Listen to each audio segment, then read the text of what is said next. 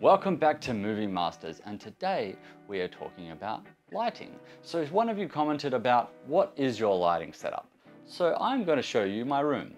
As you could probably tell from my previous videos, uh, I took a couple of times to get everything right. I've actually been moving in different places, so my location is constantly changing, but I think I've slowly got down like pat how I like my setup. So right behind me here, I've got two lights to give a bit of color. And then over here in the corner, I have my key light.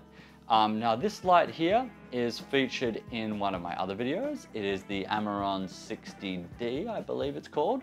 And look, it's a really bright light. Right now, actually, I, um, oof, I'm getting an eye full of sun. I should actually have a soft box on it but I currently don't have a soft box.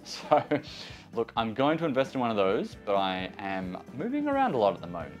Anyway, so, hmm, hello. This is a Camolo. I'm not actually sure how it's pronounced. Um, now these I got off Amazon and look, I love these things. They come with little stands that you can put on one end so you can sit them like you see here. Um, but also they have magnets on the ends. So you can actually stick them to anything that's metal. Um, here we go. Well, you can't see this in this camera, but on the camera behind us. And yeah, so look, these are really handy. They can change colors, you can change the brightness, they're rechargeable, um, they're cheap, and they're magnetic.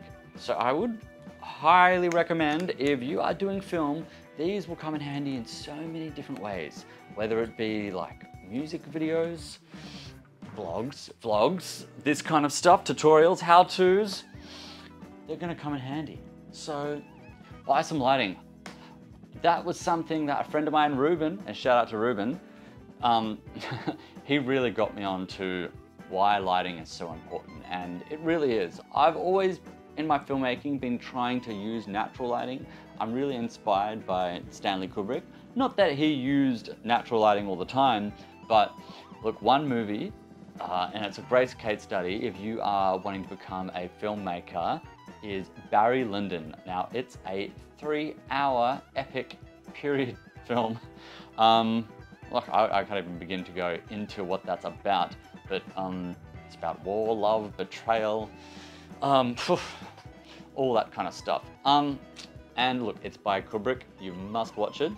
Um, when he made that film, um, he, NASA actually lent him a lens because he worked closely with them in the making of 2001 A Space Odyssey that had a very, very, very low aperture. I think it was 0.95. Even to this day, we struggled to find lenses with such a low aperture. And so they lent him this lens and he used only natural lighting or candle or candlelight for the filming of Barry Lyndon. Anyway, I'm no Kubrick, but look, we can all hope. So as yeah, as you can see, um, this is my lighting setup. I think it's a pretty good one. So I've got some, this is creating some, you know, background flare, some color, some tone, and then on me is my main K light. Anyway, look, if this has been helpful, please like and subscribe. I like to make videos. And you know, if you do want to see a video on something else, I'll tell you about my setup. So the main camera that we're shooting on right now is the Sony FX30. I've got an Atomos Ninja V connected to it, which I am staring into right now, so I can see that I'm in focus. And one mistake I made on my other videos was using, well, manual lenses while trying to film myself. Now, this is great if you have someone else behind the camera and they can focus the lens for you, but when you're having to like sit there, focus on something that you're not actually sitting on, it can be a little difficult. So I've decided to switch to the, I'm using a 35 millimeter to film this right now, the Sony f1.8 It is a really nice lens, really clear as you can see, and it stays in focus on me, which I like. So, yep, and to record the audio, um, you've probably seen in one of my other videos, I am using the Rode Wireless Go 2. Anyway, thanks for watching guys. This is my lighting setup and we'll see you next time.